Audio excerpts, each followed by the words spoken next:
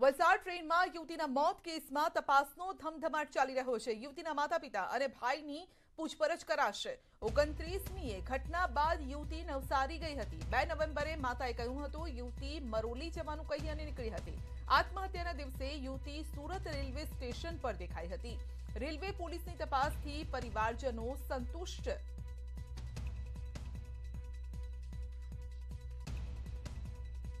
તો અંગે જ અપડેટ મેળવીશું સંવાદદાતા અંકિત પાસેથી. જી, અંકિત માતા પિતા અને ભાઈની પણ પૂછપરછ કરવામાં આવશે? હાજી બિલકુલ. જે યુવતીની જે આત્મહત્યા થઈ છે, તેની અંદર જે પરિવાર છે, તેના પરિવારને આજે વડોદરા ખાતે બોલાવવામાં આવ્યું હતું અને ત્યારબાદ જે પરિવારને છે તે વડોદરાનું જે રેલવે એસપી એનું જે ઓફિસ છે આગળ બોલાવવા માટે ત્યાં રેન્જ આઈજી જે સુભાષ ત્રિવેદી છે, રેલવેના, તેઓ અને જે એસપી જે છે, પરીક્ષિતા રાઠોડ રેલવેના, એ તમામ એમની સાથે વાતચીત કરી હતી, પૂછપરછ કરી હતી, પરંતુ મીડિયા સામે પરિવારે હાલ કંઈ પણ બોલવાની ના પાડી છે. અને માત્ર એટલું જ કીધું છે કે, અમને જે છે તે પોલીસની તપાસ પર ભરોસો છે. અને એની સાથે જેનો જે નાનો ભાઈ છે, જે જે પીડિતાનો, તેને પણ અહીંયા લઈને આવ્યા. હતો જેના મોબાઈલ પરથી તેને મેસેજ કર્યો હતો. એટલે પોલીસ હાલ જે છે તે હવે પરિવારની પણ પૂછપરછ કરી રહી છે અને આગળની તપાસ ચલાવી રહી છે. જી. જી.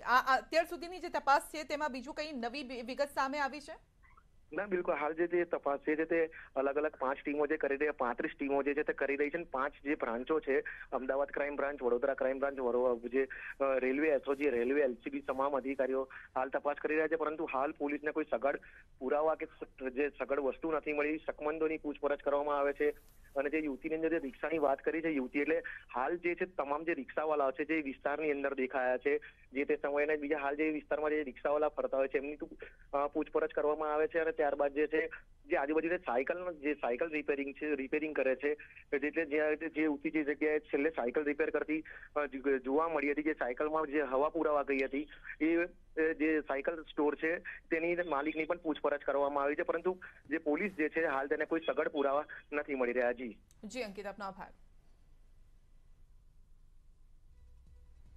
તો અમદાવાદનું આસારામ આશ્રમ ફરી એક વખત વિવાદમાં આવ્યો છે આશ્રમમાંથી ગુમ યુવક અંગે આસારામ આશ્રમનો દાવો છે રાત્રે આશ્રમના મેલ આઈડી પર યુવકનો મેલ આવ્યો હતો મેલમાં યુવકે સલામત હોવાનું ટાંક્યું છે આસારામ આશ્રમ તરફથી આ કહેવામાં આવી રહ્યું છે યુવક પોતાની મરજીથી એકાંતમાં ગયો છે ચાંદખેડા પોલીસે ઘટનાની તપાસ શરૂ કરી સીડીઆર આશ્રમનો મેલ આઈડી યુવકના મેલની પણ તપાસ મેલ સાચો છે કે ખોટો તે અંગે પણ ટેકનિકલ તપાસ ચાલી રહી છે ગુમ વિજય યાદવ અને પરિવારજનોની કોલ ડિટેલ પણ મંગાવાઈ છે હૈદરાબાદનો યુવક ગુમ થયો હોવાના અહેવાલ છે અને ગઈકાલે યુવકના માતા પિતા હૈદરાબાદથી અમદાવાદ આવ્યા હતા સત્યાવીસ વર્ષીય વિજય ત્રણ નવેમ્બરે હૈદરાબાદથી અમદાવાદ આવ્યો હતો પુત્ર ન મળતા યુવકના માતા પિતાની શોધખોળ અગાઉ પણ અ, કરવામાં આવી અને આશારામ આશ્રમ વિવાદમાં આવી ચૂક્યો છે આ પહેલા પણ તેર વર્ષ અગાઉ દીપેશ અભિષેક ગુમ થયા હતા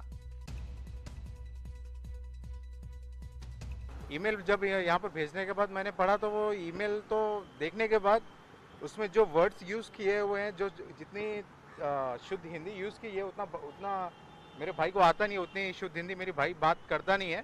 और लेकिन जो भी है अभी पुलिस वाले आईपी एड्रेस बोल, बोले कि वो ट्रेस करेंगे निकालेंगे कहाँ से मेल आया है तो उसके बाद मालूम होगा। मेल आईडी तो मेरे भाई की है तो इसके ये देखने के बाद मेरे को लगता है कि वो कहीं ना कहीं यहीं कहीं किसी किसी ना किसी के टच में है और उसमें मेल में वो यही बोल रहा था कि मैं अपने मर्ज़ी से आया हूँ आश्रम वालों की कुछ गलती नहीं है और वो मतलब पूरा सपोर्ट वहाँ दे रहा था।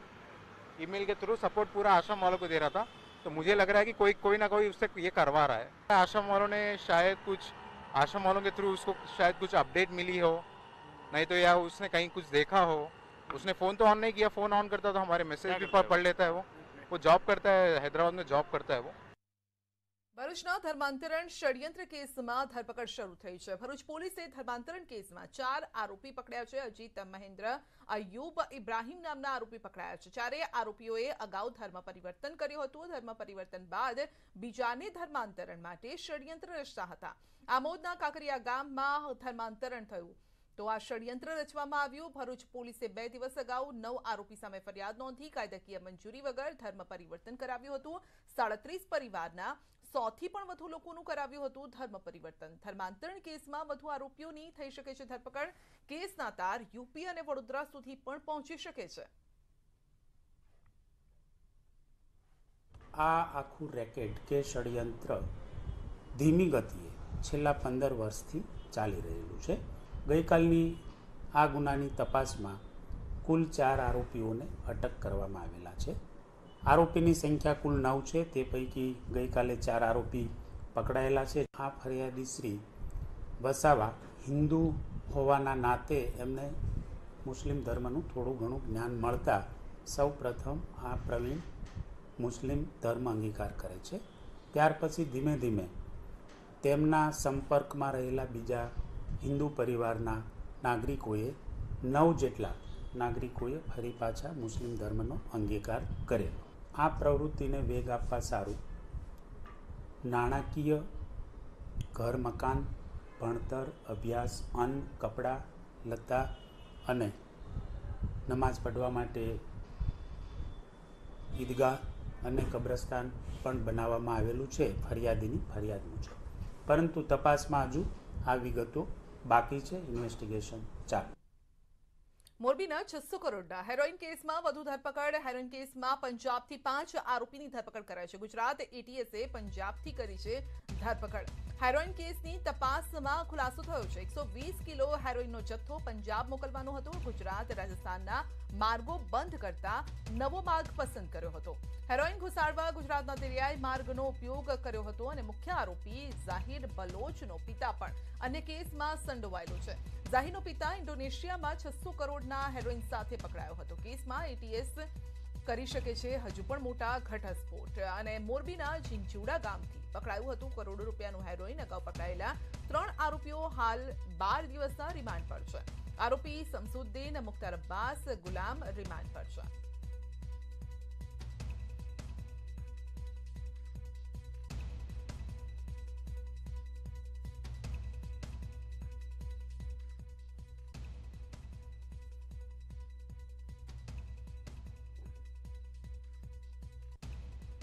ડાર્ક વેબ મારફતે ઇન્ટરનેશનલ ડ્રગ ડીલરનો સંપર્ક કરીને નશાકારક પદાર્થો મંગાવવાના એક મોટા રેકેટનો પર્દાફાશ થયો છે અમદાવાદ પોલીસે આ કેસમાં આનંદનગરના રહેવાસી વંદિત પટેલ સેજલપુરના પાર્થ શર્માની ધરપકડ થઈ છે અને તપાસમાં આરોપીઓ પાસેથી અમેરિકન હાઇબ્રિડ ગાંજો અમેરિકન ચરસ લકલ ચરસ અને મેજિક મશરૂમ તથા શેટર જેવા નશાકારક ડ્રગ્સનો જથ્થો કબજે કરાયો છે પોલીસના મતે આરોપીઓ ડાર્ક વેબથી ઇન્ટરનેશનલ ડ્રગ ડીલર પાસેથી ઓનલાઈન ડ્રગ્સ મંગાવતા હવાલા સિસ્ટમથી ક્રિપ્ટોકરન્સી મારફતે પેમેન્ટ કરતા ચૂકવણું કરતા બાદમાં કાર્ગો એર કોરિયરથી ડ્રગ્સ મંગાવતા આરોપી કાર્ગો એર કોરિયર મારફતે રાજ્યના અલગ અલગ સરનામા પર દ્રાક્ષના પાર્સલ મંગાવતો હતો એટલું જ નહીં સ્કેનરમાં ન પકડાઈ જાય તે માટે ખાસ પ્લાસ્ટિકની બેગમાં ડ્રગ્સ છુપાવીને કોઈ વસ્તુની આડમાં ડ્રગ્સ મંગાવતો તપાસમાં પોલીસે પ્લાસ્ટિકની બેગ કબજે કરી છે અને આ બનાવટ ક્યાંની છે તેનો અને કઈ સામગ્રીનો ઉપયોગ કરવામાં આવી રહ્યો છે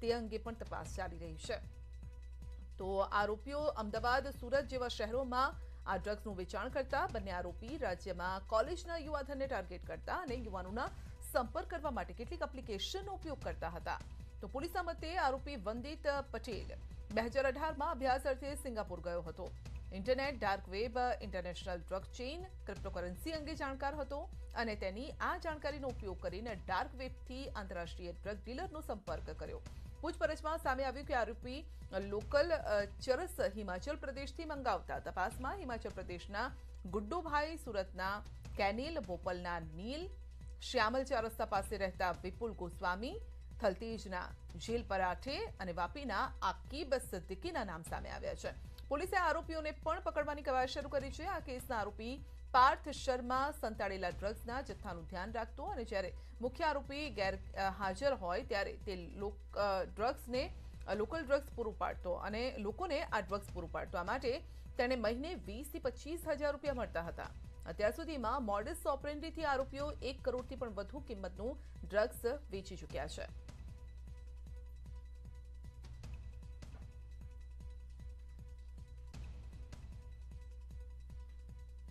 वंदित भरत पटेल पढ़ने के लिए सिंगापुर गया था। वहाँ से इसने हॉस्पिटलिटी और टूरिज़्म में डिप्लोमा में कोर्स किया है और वहीं से उसने डार्क वेब के थ्रू किस तरीके से ड्रग डीलर्स को संपर्क किया जाए और उनको किस तरीके से हवाला के थ्रू और क्रिप्टो करेंसी का यूज़ करके और फंडिंग किया जाए, इस, वहीं से इसने सीखा है। और यहाँ आने के बाद में 2019 से यह धंधा कर रहा था।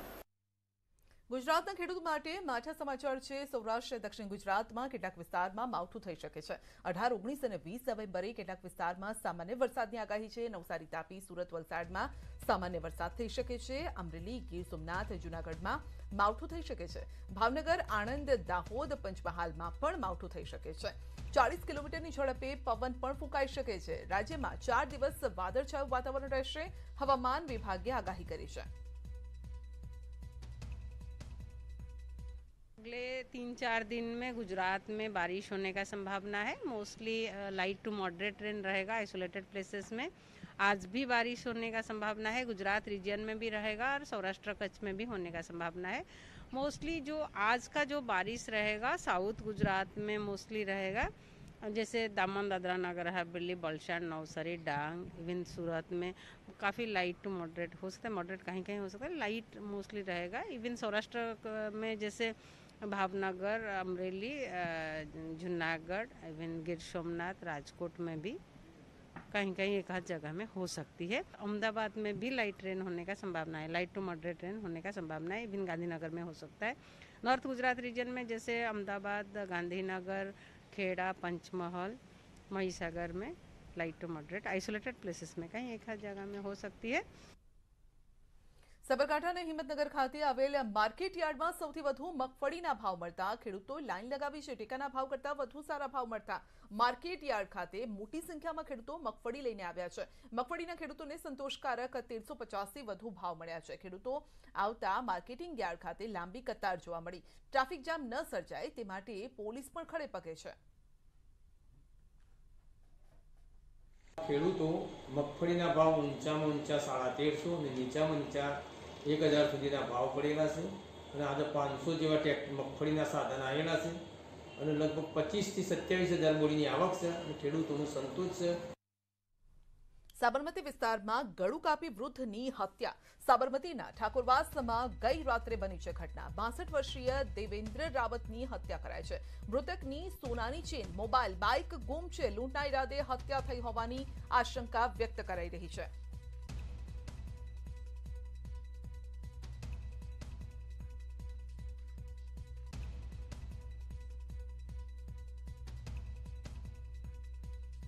બીજો કોલ આવ્યો અને કોઈ છોકરો એમની સાથે વાત કરતો હતો કે મારે બોનસના પૈસા મળ્યા છે અને મારે મારી મમ્મી માટે ચેન ખરીદવાની છે, તો તમે મારી સાથે આવો. જેથી દેવેન્દ્રભાઈ પોતાના ઘરેથી પોતાનું મોટરસાયકલ લઈને નીકળેલા. ત્યારબાદ એ રાત એમનો આઠ વાગ્યા આસપાસથી એમનો ફોન સ્વિચ ઓફ આવતો, એમના પત્ની એવી એમને જાણ કરી. જેથી એમને એમના સગા સંબંધીને બોલાવ્યા અને એમની તપાસ કરતા હતા. ત્યારબાદ દરમિયાનમાં એમનું આ જૂનું ઘર છે જે અચેક ઠાકોરવાસમાં આવેલું છે એ ઘરમાં તપાસ કરતા એમની ડેડ બોડી મળી આવેલ છે બોટાદ જિલ્લામાં માર્કેટિંગ યાર્ડમાં આજથી ટેકાના ભાવે મગફળીની ખરીદી શરૂ કરવામાં આવી છે બોટાદ ગઢડા માર્કેટિંગ યાર્ડમાં ટેકાના ભાવે મગફળી ખરીદી શરૂ કરાઈ છે જિલ્લામાં કુલ બારસો ઓગણચાળીસ લોકોએ રજીસ્ટ્રેશન કરાવ્યું બોટાદ માર્કેટિંગ યાર્ડમાં પહેલા દિવસે દસ ખેડૂતોને બોલાવ્યા પરંતુ મગફળી વેચવા માત્ર બે જ ખેડૂત આવ્યા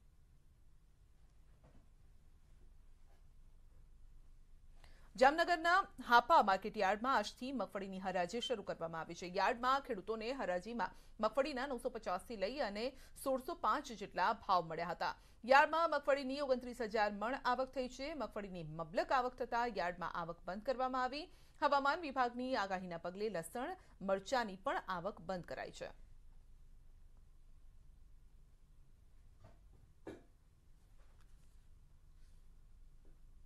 ખેડૂતો દ્વારા કુલ ત્રણસો વાહનો મગફળી ભરી અને પહોંચ્યા હતા અને લગભગ અંદાજિત ઓગણત્રીસ હજાર મણ જેટલી મગફળીની આવક થયેલ છે.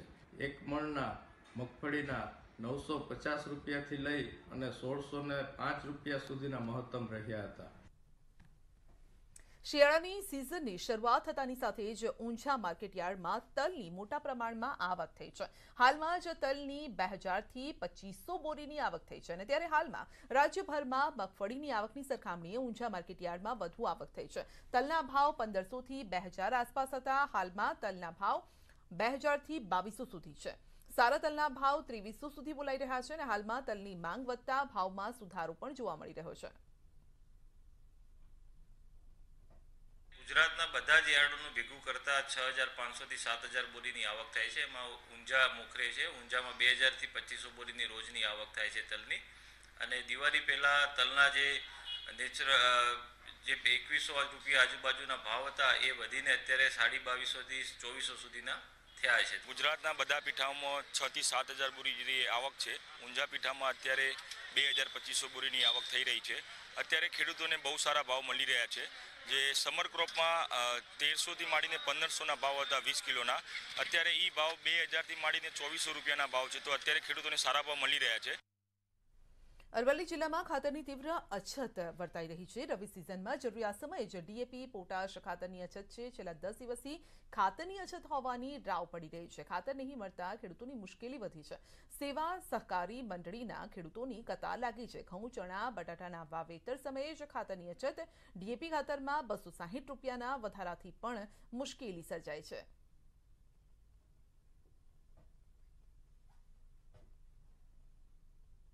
અત્યારે એટલી બધી યુરિયા ખાતરની તંગી યુરિયા અગર તો ડીએપી એનપીકે ની એટલી બધી તંગી છે કે લોકોએ એક એક વખત ગારવાનો કરી, એ ખાતર ન મળ્યું એટલે હુકી નાખ્યું. ફરી ગારવણ કરી. પણ ફરી એ હુકવવાનો વારો આવ્યો છે. અત્યારે ખાતરની એટલી બધી લોકો, દરેક સોસાયટીમાં પડ્યું છે. પણ ક્યાંય ખાતર નથી. ખાતરને કારણે અત્યારે બહુ અછત છે. અછતના લીધે અમે ત્રાસી જઈએ એકબીજા સોસાયટી જઈએ તો ખાતર મળતું નથી. એ પ્રોબ્લેમ એ જ બહુ છે. વાવણી કર્યા વગર બેસી રહ્યા છીએ અત્યારે. આ જે ખાતરો અત્યારે ખેડૂતો બધા સોસાયટીમાં બેસી રહ્યા છે. અને રોજ ટોપો હોય છે. ખાતરો વધતો નથી. ખાતરોના ભાવ વધતા વધતા જ દિવસે ગરીબો ઓછા છે. કંઈ બે રૂપિયા ઉધારે પચાસ રાંધી તો ખેડૂતોને કરવાનું કેમ ઘડી ઘડી ભાવ વધી જાય છે ખાતરોના.